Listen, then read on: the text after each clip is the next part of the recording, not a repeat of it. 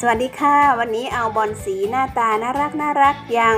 Strawberry Star หรือว่า Caladium Strawberry Star มาฝากทุกท่านกันค่ะ เป็นอีกหนึ่งบอนสีที่หน้าตาน่ารักกำลังเป็นที่ได้รับความนิยม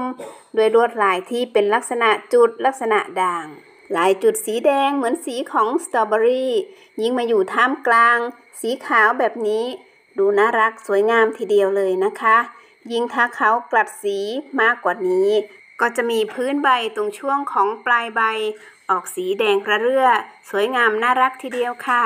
เป็นต้นไม้ที่ปลูกเลี้ยงดูแลได้ง่ายค่ะ เขาจะมีหัวหรือว่าเง่าอยู่ใต้ดินนะคะ ที่ชูขึ้นมานี้ก็คือต้นเทียมค่ะ มีลักษณะของใบที่สวยงามชัดเจนทีเดียวค่ะการปลูกสตรอเบอรี่สตาร์นั้น ถ้าอยากให้เขาแตกเง่าหรือว่าแตกกอออกมาดีนะคะ ดินที่ใช้ปลูกควรจะเป็นดินร่วนที่มีพวกอินทรีย์วัตถุผสมเข้าไปด้วยค่ะ อย่างพวกใบไม้หมักต่างๆนะคะ ไม่ว่าจะเป็นใบก้ามปู หรือว่าจะเป็นใบหงกระจง ใบมะขามที่เป็นใบขนาดเล็กๆค่ะ เราเอามาหมักคลุกเคล้าเข้ากับดินหรือว่าแกบเผานะคะ ก็จะให้สารอาหารที่พืชต้องการทำให้พืชนั้นรากเดินกระจายได้ดีค่ะ ต้นก็จะแข็งแรงโตไวค่ะ ให้สีสันที่สวยสดใสทีเดียวเลยนะคะ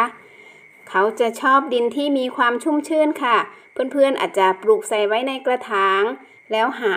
ที่รองกระถางไม่ว่าจะเป็นถาดหรือว่าเป็นจานรองนะคะ เอาน้ำใส่เพื่อที่จะหล่อเลี้ยงความชุ่มชื้นให้กับต้นของเขาค่ะ ก็จะทำให้เราไม่ต้องรดน้ำบ่อยทำให้ดินนั้นชุ่มชื้นอยู่ตลอดเวลาค่ะ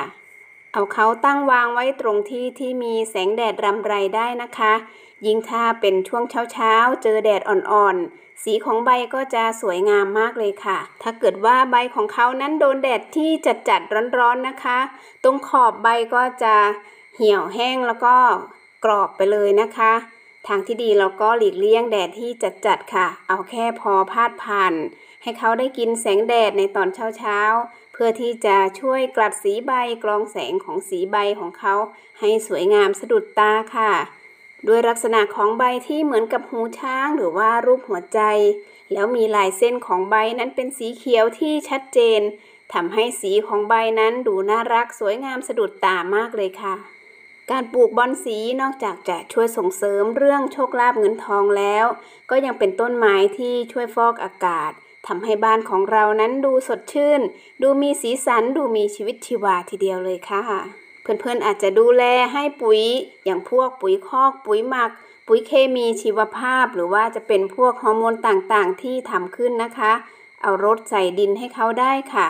การให้ปุ๋ยหรือว่าใส่ปุ๋ยก็ไม่ได้ใส่เยอะนะคะ อาจจะใส่เดือนละสองครั้ง ใส่ลงไปเพียงเล็กน้อยค่ะ ไม่ควรจะเน้นปุ๋ยที่มีธาตุไนโตรเจนสูงนะคะ เพราะอาจจะทำให้ใบนั้นงามเกินไปแล้วก็เฉาไวเหี่ยวไวค่ะ การให้ปุ๋ยสูตรเสมอไม่ว่าจะเป็นปุ๋ยสูตร 13 13 13 หรือว่า 15 15 15 อย่างพวกปุ๋ยละลายช้า Osmocote ก็ใส่ได้นะคะ ก็จะทำให้ต้นของเขานั้นแข็งแรงทุกส่วนเลยค่ะ ส่วนโรคหรือว่าศัตรูที่เกิดกับ Strawberry Star นั้น ก็ไม่ค่อยมีมากนะคะ ส่วนมากก็อาจจะมีบ้างพวกเพลียแป้ง หรือไม่ก็ไวรัสโมเสกซึ่งทำให้ใบของเขานั้นไม่สวยนะคะ เราก็อาจจะให้เขาอยู่ในที่ที่โปร่งมีแสงแดดบ้างนะคะ หากเจอปัญหาว่าใบมีศัตรู เราก็อาจจะตัดเล็มออกได้ค่ะ ให้เขางอกขึ้นมาใหม่นะคะ แทงใบใหม่ขึ้นมาค่ะสำหรับท่านไหนที่กำลังมองหาบอลสีหน้าตาน่ารักน่ารัก ราคาเบาๆ ไม่แพงเกินไปค่ะ บอลสีสตรอเบอรี่สตาร์ก็เป็นอีกหนึ่งชนิดที่น่าปลูกทีเดียวเลยนะคะ ก็เอามาฝากทุกท่านในวันนี้ค่ะ ส่วนคลิปหน้านั้นแม่นางจะเอาอะไรมาฝาก ก็อย่าลืมติดตามไปด้วยกันค่ะ